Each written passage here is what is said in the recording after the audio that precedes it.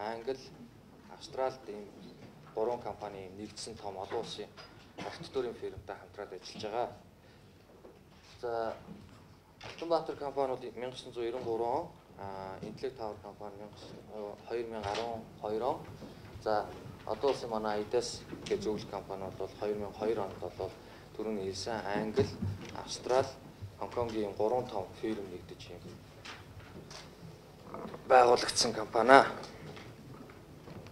За та бүхний мэдэж байгаачлан одоо бол манай үндсэн газрын байршил бол их тэнгэрийн амны үүдэн хэсэгт одоо байгаа төмөр одоо каркасны одоо өөрчилж хийхээр а төлөвлөгдөж байгаа. За бид бүхний анхны концепцээр бол одоогийн энэ байгаа хоёр төмөр каркасны суурийг ашиглаад а энэ төлөвлөлөөд хийцэн байгаа суурийг бол өөрчлөхөр байгаа. Учир нь бол энд байгаа ерөнхийлөгчийн өргөөнөөс Улаанбаатар хотыг харж байгаа бүх харагдсан хэсгийг хааж байгаа мөн яг одоо тэр маршлын гүүрний уулзуураас энэ үндсэн музейний барилгын бас одоо фасаданд нөлөөлж байгаа. За мөн бид бүхний төлөвлөж байгаа одоо зогсоолын талбайг бас өөрчлөх шаардлагатай байгаа учраас бид бүхэн энэ хэсгийг ашиглахгүйгээр а энд нь 60 54-ийн хэмжээтэй дахиад ингээд нэг блок нэмээд ингээд 3 блок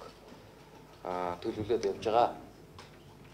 За одоогийн байгаа төмөр каркасан дээр бол энэ хоёр хэсгийн атрум хийцийг төмөр каркасыг бол буулгана.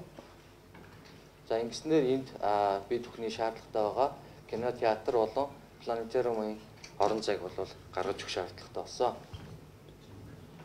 За одоогийн байгаа каркасыг аль болох бид бүхэн өөрчлөхгүйгээр ашиглахыг хичээж байгаа. Гэхдээ 3 2 хэсэг газар бол яах жахгүй өөрчлөн. А энэ хэсэгт бол айдрын төлөвлөлт хийх шаардлагатай учраас энэ 4.1 м гэсэн өндөр маань бид бүхэнд хангалттай байгаа учраас энэ хэсгийн каркасан дээр өөрчлөлт оруулна. За мөн энэ хойдлын шинээр төлөвлөж байгаа хэсгээр бол бид бүхэн 17 м-ийн өндөртэй одоо үзэсгэлэнгийн гол танхимыг бас байрлуулахаар төлөвлөсөн. За одоо энд байгаа хийцийн хэсэг за өөрчлөгдөж байгаа огтл маань юм байна. Түрүүний хийсэн альтрум төлөвлөлт 250 хүний театр, планетариум за энэ шинээр төлөвлөж байгаа үзэсгэлэнгийн хэсэг. За аливаа олон улсын шаардлага юугаар болвол төлөвлөлтөөр үүдний лобби хэсгийг болвол маш сайхан одоо орон зайтай байхаар болвол төлөвлөдөг. Тэгээд тийм ч учраас бид хүн бас яг одоо байгаа каркасан дээр энэ хэсэгт нь бол маршин а парад марштай ийм орон зай төлөвлөж өгч байгаа. За мөн одоо эрдэнэ зүгт хойдолтой буюу барилгын уртаа таахны адрын төлөвлөлт, галерегийн адрын төлөвлөлт а мөн амфитеатрын зорилттой энэ хоёр хэсгийг бол нэмж төлөвлөж байгаа. За мэдээж хуучин хоёр болоод болоо гурав дахь шинээр барьж байгаа төлөвлөж байгаа болоокуудын хооронд бид хүн шинээр төлөвлөнө. За барилгын үндсэн санаа бол Андрю гээд одоо энэ голдож бидэртэй хамтарч ажиллаж байгаа архитектор бол одоо Сингапурын тэр Марина Биг одоо дизайныг гаргасан ийм архитектор. Тэгээ энэ хүнтэйгээ зөвлөөд бид өхөн Монгол гэрийн үндсэн шийдлийг орчин үеийн одоо барилгын концепц руу шилжүүлж энэ 250 хүний театр планетариум одоо үзэсгэлэнгийнхаа одоо энэ хамгийн гол боолрумыг бол Монгол гэрийн ийм санаагаар гаргуулсан. За одоогийн байгаа зогсоолын өндөр суурийн барилгын суурийн зогсоолын өндөр бол тийм хангалттай биш. Тийм учраас бид өхөн барилгынхаа хоёр жигүүрт аа дахиад газар доорх зогсоол төлөвлөж байгаа. Ингэснээр энд бол 400 автомашины зогсоол мөн түүнчлэн инженерийн шугам сүлжээний өрөөнүүдийг бол энд байрлуулна. За гадна талаасаа бол бид бүхэн түрүү хэлсэн үндсэн богдуудынхаа хэлбэрийг атагдуулахгүйгээр газар доорхын гараашаа ашиглаад энд орвол түрүүн газар доорх нэг гараж газраас дэш нэг ил зогсоол а ил зогсоол нь ийм ландшафтны хувцалтаар учигдсан юм байна. Бид бүхэн яагаад энийг гаргасан бэ гэхээр энэ бол одоо Улаанбаатар хотын иргэд Монгол улсын иргэд очиж үйлчлүүлдэг маш том соёлын тийм төв болно гэж төсөөлж байгаа. Тийм учраас энд бол автомашины бөөгнөрөл зогсоолын талбай бол их шаардлагатай болно. Гэхдээ энэ бол байгалийн түүхийн музей. Тийм учраас энд байгаль өөрөө харагдах ёстой. Энд автомашин биш одоо орчин үеийн техник харагддаггүй гадна талаасаа бүтэн ландшафтын асуудлаа шийдсэн иргэд одоо хүүхдтэйгээ гэр бүлээрээ зугааж одоо амрах боломжтой. А энэ автомашиныхаа одоо энэ явж байгаа автомашиныг замуудтайгаар огтлцохгүйгээр газар дээр ямар нэгэн мишрэгч машин харагдахгүйгээр ингэж төлөвлөсөн. За түрүүний бидний хэлээд байгаа энэ Adidas гэж компанитай хамтарсны гол бидний давуу тал гэж юу гэж харж байгаа вэ гэхээр үндсэн одоо музейн барилгаар үйлчлүүлж байгаа иргэд болон ажиллаж байгаа ажилчид за тэгээд барилгын төлөвлөлттэй хоорондоо функционал холбоо нь хамгийн сайн болсон гэж үзэж байгаа. Одоо бол бид бүхэнд яг музейн тасалбаргүй хэсэг, музейн тасалбартай хэсэг, үүдний хэсэг, аж ахуй агуулга гэдэг энэ хойдлын үзэсгэлэнгийн танхим гэдэг ингээд функцэн юм байна. За, нэгдүгээр давхар та бүхэнд тайлбарлавал одоо энэ бүр үүдний хэсгээр ороод энд амфитеатр. Мах олон төрлийн зориулттай амфитеатр. Энд мөн төр үйлчлэн ганц зориулттай олон төрлийн зориулттай хэсэг. За музейн дэлгүүр. За Дээшээ хоёр артлын хэсэг нь болохоор энэ музей одоо агуулга сан хөмөрөг инженер техникийн одоо ажилтнуудын байдал тоног хөрөмжүүд өөрөө а энэ бол удирдлага сервис үйлчилгээний хэсэг за энэ хойд үйлчилгээний талбай аж ахуйн хэсэг агуулга сан хөмөрөг хадгалах хэсэг а энэ дээр бол түрүү би хэлсэн музей рүү орж байгаа үйлчилгээний ямар нэгэн автомашин автобус бодвол явган хүний замтай зүрт нэг төвшөнд авталцахгүй. Тэгээд энэ ардаа талынхаа хэсэг дээр бол буулгадаг тодорхой тооны бидний судалснаар тодорхой тооны үзмөрүүд бол үнд баршгүй юм үзмөрүүд байдаг. Тэгээ энэ тусгай хамгаалтанд доор гарч ирдэг гэсэн ийм үүднээс бол энэ артлын далд хэсэгт энийг бол төлөвлөж өгсөн. За үндсэн үйлчлэгийн компаниуд маань бид нар хоёрдугаар давхарт байрлана. За 3 дугаар давхар а музей маань өөртөө 250 хүний а ресторантай энэ үйлчлэгээний багтай за тэгээд театрт болон планетариум орсон одоо энэ сургалтын зорилттой зарим үед ашиглагдах байх гээд энд нь бол тодорхой анги танхимуудыг лекцийн анги танхимуудыг төлөвлөж өгсөн. Давхар функцтэй. Энэ маань яаж байгаа вэ гэхээр музей бол зөвхөн тэнд музей үзэх гэж очдог зорилттой биш энд музейгээс гадна бусад үйлчилгээ олон олон нийтийн арга хэмжээг давхар зохион байгуул музейг одоо амьд сүнстэй байлгах ийм зорилгоор бол эдгээр оруулж өгсөн. За нийт байдлын фасадны 25% бид хүн норм дүрмийн дагуу шилэн нэвт харагддаг шилэн фасад төлөвлөн. За одоо энэ бол одоо панелаар шийдэгдэх сүүлийн хөнгөн цагаан панелаар шийддэг талбай нь бол за энэ бол шилэн талбай. Гэхдээ энэ бол зарим газар бол нэг тагдан зарим газараа дулаахтай шилэн талбай. За түрүүний ярьсан гурван герман бол ийм металл титан гангаар өнгөлөгдөн өнгөлөг өнгөтэй байна. За энийг бол а тогтсон өнгө гэж үзэж байгаа яагаад тэгэхээр мөнгөлөг өнгө бол жилийн дөрөв улирал хизээж өнгөө алддаггүй ийм материалаар хийгдэнэ. За түүний байгуулалт нь За энэ дээр бас нэг юу надад урдлын хоёр гэрийг тойрсон зимний сад буюу өвлийн хүлэмжтэй мөнхийн ногоо одоо хүлэмжтэй байхаас төлөвлөсөн. За харагдах байдал бол байна.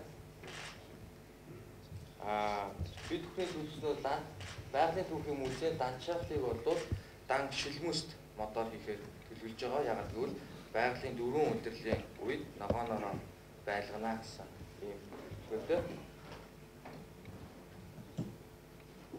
А энэ бол одоо бид бүхний одоо үүдний яг гол орцны хэсэг нь.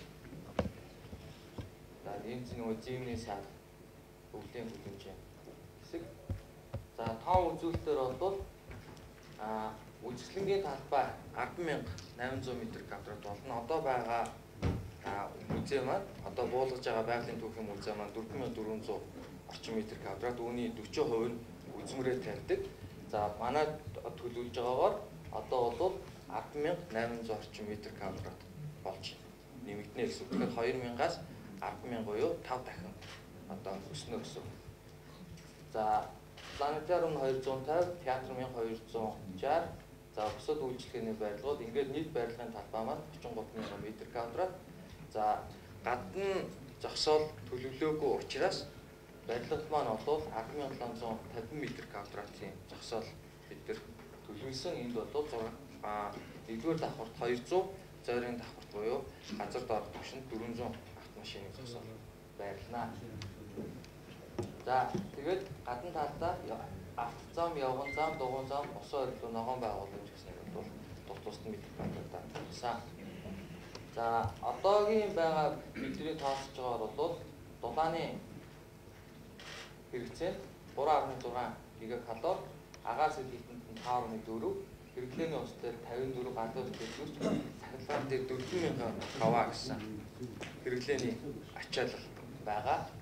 За одоогийн яг төлөвлөсөн байгаагаар бол бид өхөн гадны инженерийн шугам интерьер болон а тоног төхөөрөмж музейн тоног төхөөрөмжийг оролцуулахгүйгээр 75 орчим тэрбум төгрөгөөр энэ байрлал басна гэсэн төсөөлт байгаа. За өнөөдрийн хуралдаар бид өхөн бас та бүхнээс ийм хүсэлтэй ирсэн. Тэгээд газрын захирамж артуудуудын даалгавар за тэгээд техникийн нөхцөл гэсэн мөн одоо байгаа барилгын барилга бүтээцийн деталь хийцийнхэн зураг бид бүхний гар дээр ирж ирээгүй байгаа. Тэгээ энэ асуудлыг шийдвэрлэж өгөөч гэсэн ийм хүсэлтэй. За анхаарал тавьсан.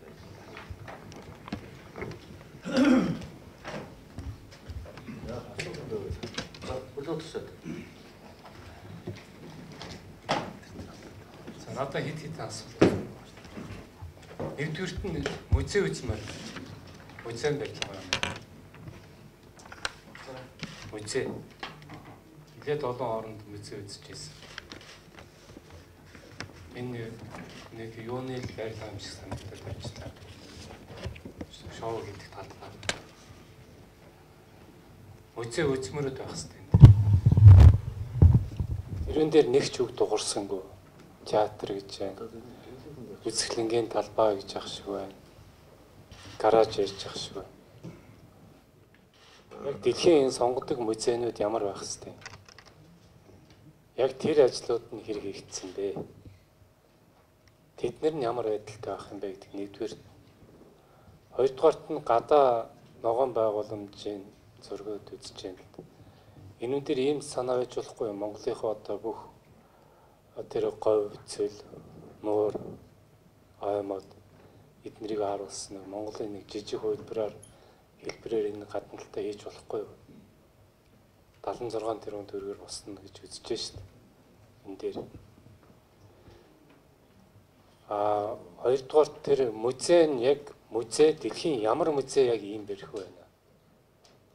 Нэгэнт ийм хэмжээний хөрөнгө мөнгө зарж байгаа юм бол дээр нь одоо байгаа тэр э, байгалийн төвхийн музейн үзмөрүүдийг гаргаж ашиглая гэж байгаа бол тэр яг яаж хийгдэх. Тэр нь их сонин чухал байна л да. Түнс биш тэнд байгаа кино театр, үзэсгэлэнгийн талбай а дөрвөн үйлрэл дургадын мод эднэр нь бол яг зүгээр л байх л та. Тэр өөр газар өөр зорилтоор хийж болох байх. Хөөний хөвчлийнхэн ч хийж болох байх. Яг музей гэдэг агуулгаар нэн дээр юу байгаа юм? За Би бас буруу. Тэргээ энэ төр нэг гаргаад тайлбарлаад өгдөө. За яг музейн ийм ийм секцүүдтэй. Одоо ийм хэсэг нь ингэж ийм хэсгээр энэ музейн ийм ийм юмуд нь орно, ийм үзмөрүүд нь байна. Энэ тэр тэр тайлбаруудаа яг одоо харуулад ярьч та. За би зүгээр энэ дээр гаргаад ярьчих. Би тэрийг чинь сонирх. Яг музейн байрлалууд музейн үлсмэр байрлал хэсгүүдэд тайлбарлаж та. Үнсш барилга боломж ойлгочлоо. Ерөнхийдөө нэг байдаг барилга байх шиг байна. Би харин буруу тайлбарлаж шиг боллоо. Миний ярьсан үзэсгэлэнгийн талбай гэдэг аа бол энэ музейн талбай. Атмын талбай. Атмын 18 8 Музейн за музейн заалууд чинь яаж явах юм? Тэднийг үзвэл дээ. Одоо нэгдүгээр давхар юу? Гэхдээ наад чи ойлгоцсон. Яг музейн талбайнууд ямар байдаг юм? Одоогийн одоо бол бид хүн за би нэг тайлбарлаж вэ? Музейн талбай бол энэ цэнхэр өнгөөр гаргасан талбай нь. А энэ дотор музейг бол одоо яаж хэрхэн байрлуулах вэ гэдгийг бол бид хүн байгалийн түүхийн музейнхантайгаа сууж байгаа ажлын Өөрөө энэ музей үзчихсэн үү? үзээ Хаана музей Бас үзчихсэн? шаардлагатай болохоор урагшаа бид нар явсан. Аа. Тий. Аа Шанхай музейг үзсэн. Шанхайд очиж тэгээд аа Европын музейнуудыг үзсэн үү? Европын музейг үзчихсэн. Аль музейг? Аа Лоурыг үзчихсэн. Өөрөө? Луур. А? Луур. Луур. Ватиканы бүтэн музейг үзчихсэн. Эрмитаж үзчихсэн үү? Эрмитажийг үзчихсэн. За. Тэгээд музейн үзэсгэлэнгийн музейн үзмэр байрлалд ингээд тасалгаануудаараа яаж явж байдгийг тэдний нэг үзүүлээд яриад өгсөн. Тэр Тэр үчинд үзэх гэж орж ирсэн шүү дээ. аа бид одоо бол яг концепт дизайн дээр явж байгаа. Одоо энэ дээрээс их загвар зураг руугаа бид нар шилжихэд бол байгалийн түүхийн музейнхантайгаа буцаж ирээд давхар ажиллах шаардлагатай. А дөрөв тодорхойлоогүй байж яаж төсөлтөртэй тодорхойлох. Дөрөв би танд хэлсэн шүү дээ. Энд бол интерьер болон музейн тоног хамааралтай тоног төхөөрөмжийг оруулаагүй зөвхөн бид нар барилгын хэмжээнд одоогийн байдлаар төсөөлөлөө гаргаж харуулж байгаа гэж. Тий. А дөрөв таны ярьсан тэр дөрөв удирлын юм дээр бол бид зөвхөн бас нэг саналтай байгаа. Музей заалуудаа Монгол орны 5 одоо байгалийн бүсэнд хуваагаад тэр бүс бүсүүдэд нь одоо юугаад үзмрүүдэд байрлуулсан төлөвлөгөөтэй байгаа. За тэр хамгийн хойдлын хэсгийн энэ хэсэг талбай бол одоо яг динозаврын музей болж цааш нь өргөжүүлж байгаа. За. Энэ энэ музейг хариуцж байгаа захирал нэг юм хэлээд гэж ямар учиртай. Тодорхой хариулт дараа. Одоо энэ байгаа байгалийн түүхийн музей чинь нэг 2 м 2000 гэсэн үү тий? 2000. Зүгийн даг бол 2000. Энэ шинэ музей бол 10.8 мянган метр квадрат бол нөхөр чинь 5 дахин нэмж чинь гэсэн үг байна шүү дээ. Тэрэн дээр музей тэр тэр талбай дээр одоо үзмрүү тавигдана гэж ойлгож байна тийм ээ. Тэгнь. Тий. А тэрийг та нэг тайлбарлаа. Тий. Ер нь бол яг хаа бидний байгалийн төхөн мөсийн захиргаа бол 33200 м квадрат тийм талбай захиалсан. Одоо биднэрт ийм барилга хэрэгтэй байна. Энэ дөрвөн давхар байна. Подволоос гадна. Подволоос гадна гурван давхар байя гэж ийм юм захиалсан. За энэний бол 10 100000 гэдэг бол зүгээр харьцан арай л бага байна. Би бол тэгж үзэж байна. За ямар ч байсан нэг 40% нь баймаар байна гэж ингэж бодож байгаа. За тэгэхээр бол харьцангуй бага байна. Ер нь бол яг бид нар захиалга өгсөн. Яаманда одоо дамжуулаад бидний өгсөн захиалгаар бол одоо энэ өрсөлж байгаа компаниуд бол зураг зураад одоо танилцуулж байна гэж бод. Тэгэхээр 100000 бол арай нэгдүгээрт бага байна. Хоёрдугаарт нь сангийн сайд Хөрөбаатар сайд асууж байна. Тэр үзэсгэлэнгийн танхимууд гэж ярих хэрэгтэй. Үзэсгэлэнгийн танхимууд нь бол яг уу миний төсөөлж одоо бидний төсөөлж тооцоосоос арай өөр байна л да. Арай өөр байна. Бид нар бол арай л өөр маягаар өгсөн. Аа за тэр 17 м би түрүү бас энэ зурсан залуу саналаа хэлжсэн түрүү коридорт 17 17 м-ийн өндөртэй ийм танхим нэгийг төлөвлөсөн байна. За бид бол 10 м 10 м гэж өгсөн байгаа. Ер нь одоо энэ дэлхий дээр байгаа энэ байгалийн түүхийн музейнуудын энэ динозаврын заалнуудын нэг шүдний өвчин болоод байгаа юм бол 20 м 18 м ийм том заалууд хийчихэд байгаа. Тэгээ энэ нь бүр дээр үд хийсэн. Тэгээ нөгөө хоосон орон зайгаа дүүрэх болдгоо. Ерөөсө дүүрэх боломж байхгүй. Дулааны их алдагдaltaй. За тэгээд тэр 18 мянган метрт манай хамгийн том өндөр динозавр 8 метр л. Тэгээ тавьж чад тэр чинь нэг юм чөгчийсэн жоох юм харагдаад ийм нөгөө зохицол энэ төр болдгоо маа. Тэгээ энэ одоо яг хамтраа засаад явж болно л доо. Энэ бол дөнгөж төсөл учраас ингээд болно гэж үзэж байна.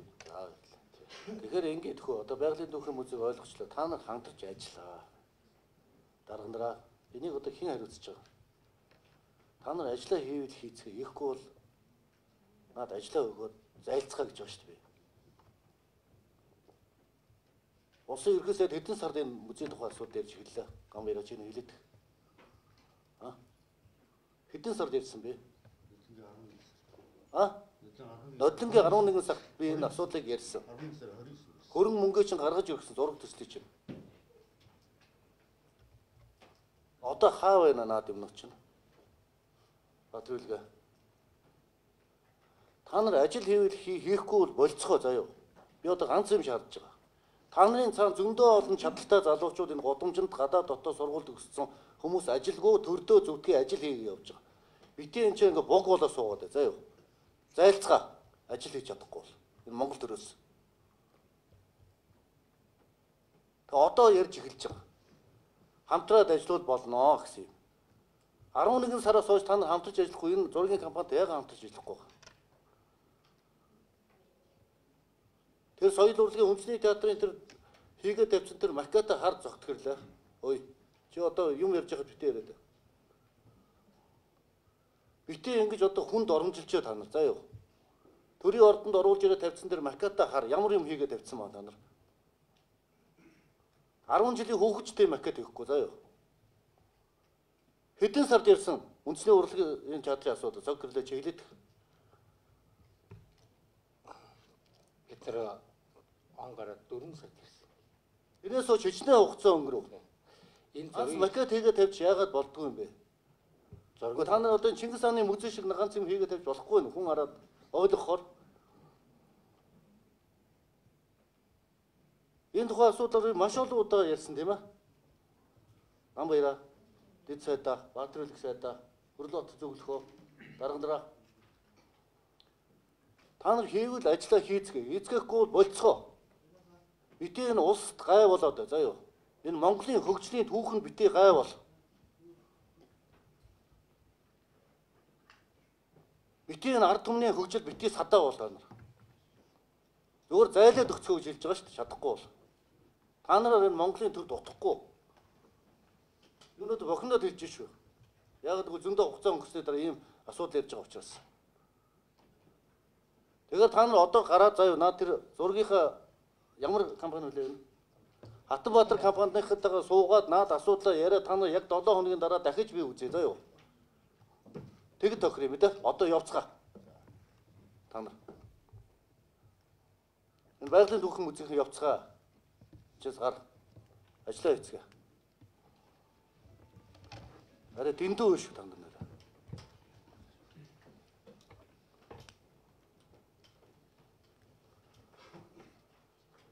Ийм байдалтай удирдах юм ган баяра энэ төсөлтөрүүдийг а Учраас одоо энэ дээр бас нэг жоох ойлголт юм байна. Байгалийн төхөм үйлс дээр хоёр удаа зургийн тендер зарлагдаад шаардлага нь бүгдсэн. Одоо энэ нь одоо гурав дахь хүн дээр нь яваад одоо Атомбатар гэдэг энэ компанитай чекээр хэлсэн нь бол хийж амжаагүй юм аа. Зургийн даалгавар юм бол үндсэндээ бас боловсруулагдаж дуусаагүй юм байна. Та нар шуурхай ажиллал та хангалттай цаг хугацаа өнгөрлөө шүү дээ. Та нарт хангалттай цаг өгсөн шүү дээ. Даргандраа. Бити гай болоод байгаа гэж хэлж байгаа шүү дээ. Тэгээ нэг том том өрөөнд суусан аа нэг том том машин унсан баг нь л энэ тэнд л одоо амралт хийсэл дохиод ирсэн ш та нар энэ үл энэ зам найр наадам хийгээл нэг том том дээл өмсгөөдсөн нэг том том хөөрөг ирсэн нөхдөл яваад ирсэн мэт. Тэгээ одоо хаа байна? Өвөл болох гэж байна. Ажил ярихлаа одоо ажил нь байхгүй. Засгийн газар бүх асуудлыг шин шийдэж өгсөн. Мөнгө төгрөгийн асуудлыг, газрын асуудлыг. Эрүүл маргаантай байгаа бүх газруудыг чинь шийдэж өгсөн. Нураа дунж байгаа музей дээр чинь улсын иргэн сайд өөрөө очиж үзсэн. Асуудлыг чинь газар дээр чинь шийдсэн. Одоо тэгээд та нар яагаад ажиллахгүй юм бэ? Бидний байгаа байд ийм байгаа. За энэс болж чинь ус чинь хөгжихгүй байгаа. Тэгээд авилгалд автцсан.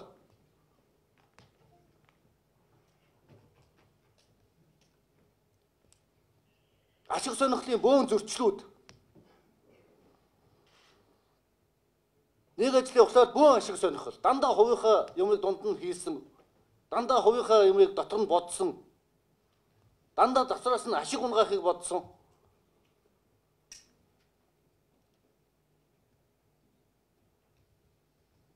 Ийм байдалтай ажлууд энэ улс чинь хөгжих юм уу дарганараа?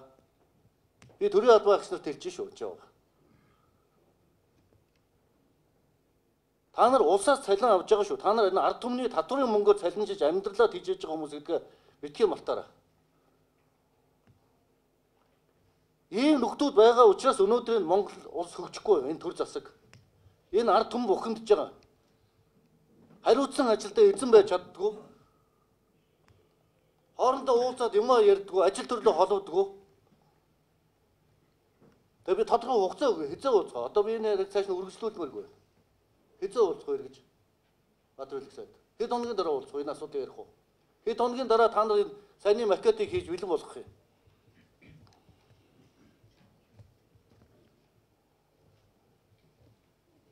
Хэд хоног хэрэгтэй вэ? За та би бас мэдээлэл өгье. Үндэсний урлагийн театрын зурагчдын ажлаар манай компани хахлаа ажиллаж байгаа.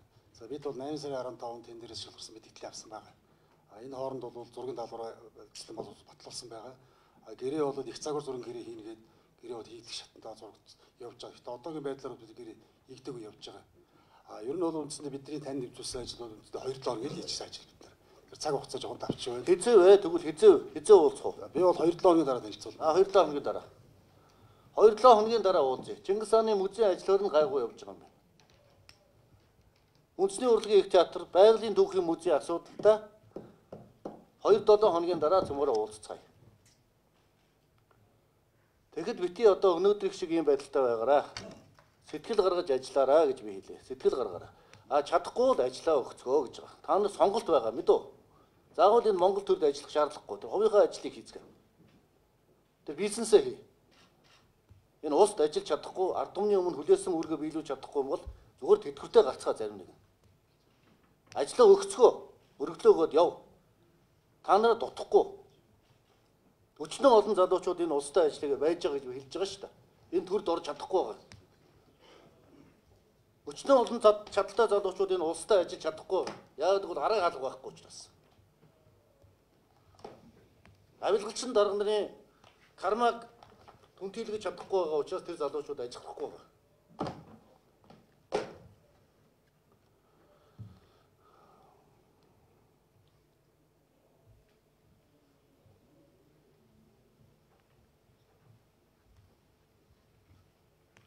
Тийм учраас одоо 14 хоногийн дараа уулзъя. За явцгаа. Эдлээ баярлалаа уран бүтээлчтэй. Уучлаарай. Ажил явахгүй болохоор бухимдаад байна. Ягж уулзъя. Энэ өмнө таацгаа.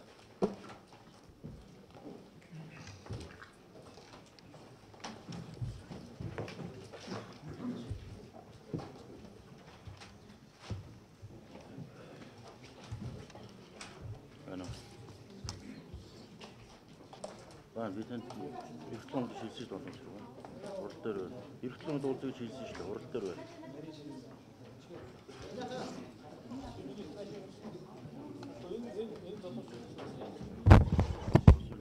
Ажил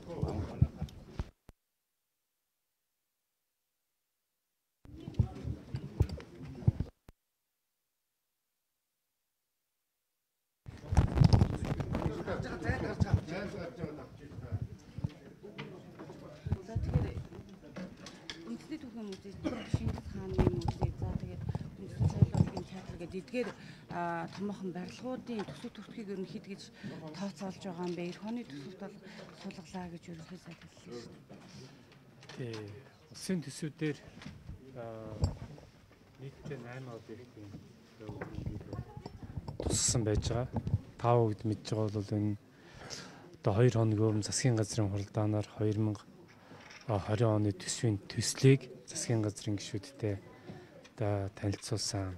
За ингээд саяхан яригддаг одоо 3 объект байгаа үндэсний урлагийн их театр одоо тэр их тэнгэрийн амд баригдах Чингис хааны музей а зэрэг одоо нийтдээ 8 объектын төсвийг бол тавьсан байж байгаа. За үн энэ тавигдсан одоо объектууд дотроос яг төс төртгөн тодорхой байгаа зүйл бол энэ Чингис хааны одоо музей төс төртгөн тодорхой байгаа.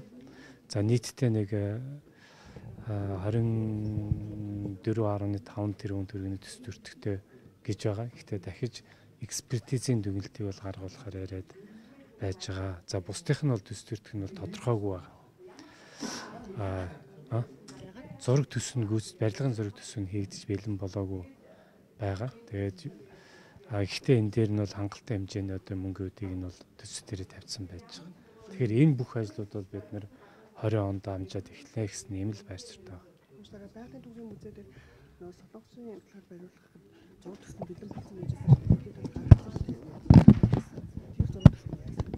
Тэр давхар байшин гэж Мэдхгүй. хизээ харуулж исэн. 2 3 жилийн өмнө 2 жилийн өмнө 2 жилийн өмнө тийм харуулж исэн би санахгүй. Байгалийн түүхийн музей их тэнгэрийн хамт баригдаж байгаа а, барилгын ажил эхэлсэн гэсэн яг байгалийн түүхийн музей нийт хичнээн тэрбум төгрөгөөр юм байна. Сая бол 20 75.6 тэрбум төгрөг гэдэгт танилцуулга хийж штэ. Тэгээ одоо эх оны төсвийн тө- төсөвд одоо яг эдгээр тодорхойг байгаа гэдэг нь багцаагаар тооцоолбол нийтдээ нэг а, нийт энэ нөхрөнгө оролтуудаар нэг 200 орчим тэрбум төгрөг байх болов гэсэн урдчилсан байдлаар ийм зүйл гарч ийн гэсэн энэ дээр бол яг тодорхой юм байна. Яг бид нар бол анх төсвийг төсөөлөхдөө бол нэг 200 орчим тэрбум төгрөг нийт төсөв төртөх нь байх юм байна. Нийтдээ. А үүнээс нэг санхүүжигдүүн нэг 110 орчим тэрбум төгрөгийг 2010 онд тавьж санхүүжүүлнэ гэсэн ийм бодолтой бол одоо явж исэн. За гэхдээ өнөөдрийн зүгээр юм э, хийгдсэн танилцуулга харсан авсан мэдээлэлээр бол одоо 200 орчим тэрбумаас өнөөдөр давж гарах нь бол ойлгом төс төртг нь бол гарч одоо давж гарах юм болов уу гэсэн одоо анхан шат анхны ойлголтыг бол авчаа сууж байна. Тэгэхээр а, төсвийн төсвийг баталгаас өмнө мэдээж энэ зураг төсвүүдийн а, тодорхой болохгүй бол одоо таамгаар бол а, хөрөнгө тавих бол боломжгүй. Тий. Яг тийм шаардлагыг л тавиад байгаа. Тэгээ ч гэсэн маш тодорхой үүргийг заримыг нь бол өнгөрсөн оны 11 сараас хойш өгсөн. Энэ жил жингээл хэлсэн. Тэгээд газар а, чөлөөлөх, газраа олох, тэгээд эскиз гаргах гэдэг ажил бас нэлээд их байх шиг байна. Та сая 2 хоногийн өмнө засгийн газарт 2 20 оны төсвийн төс- төслийг бол өргөн барьлаа гэж юм. Ер нь эх хонд манай улс хэдэн хэд их найдын орлого болж хэд их найдын зарлага гаргахаар төлөвлөж байгаа. За яг эцлээд дуусгаар нь нэрийдэх хөө. Одоо би эцлэгдээгүй байгаа зүйлийг яриад уу. Гадаад үр зүйлүүд бас тухайн хэмжээний жин дарах болоод өсөвт юм дарамт үйл. За би төсвөө яг эцсийн байдлаар улсын хурлд өргөн барьсны дараагаар мэдээлэл өгье. Юу ичил солон манайх танаас